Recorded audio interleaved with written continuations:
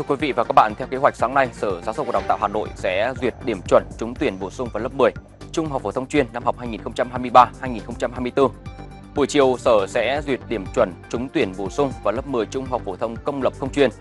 Theo số liệu của Sở Giáo dục và Đào tạo Hà Nội, tỷ lệ nhập học các trường trung học phổ thông công lập trên địa bàn thành phố Hà Nội năm học 2023-2024 là 99,46%, tương ứng với 71.361 học sinh trúng tuyển vào lớp 10 đã xác nhận nhập học trên hệ thống tuyển sinh của Sở. Như vậy còn khoảng gần 400 học sinh chưa đăng ký. Năm học 2022-2023, Sở Giáo dục và Đào tạo Hà Nội đã hạ điểm chuẩn đối với 11 trường để tuyển bổ sung học sinh.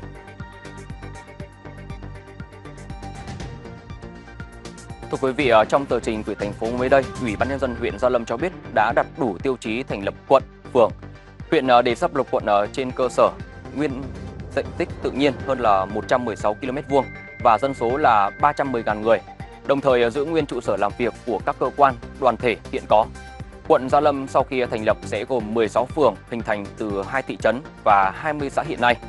Hà Nội hiện có 12 quận và đạt mục tiêu giai đoạn năm 2021-2025 có từ 3 đến 5 huyện lên quận. Trước mắt ưu tiên nguồn lực hoàn thiện tiêu chí đưa hai huyện Đông Anh, Gia Lâm lên quận vào năm 2023. Và hôm 4 tháng 7, kỳ họp thứ 12 Hội đồng nhân dân thành phố Hà Nội thông qua đề án thành lập quận Đông Anh và các phường thuộc quận này.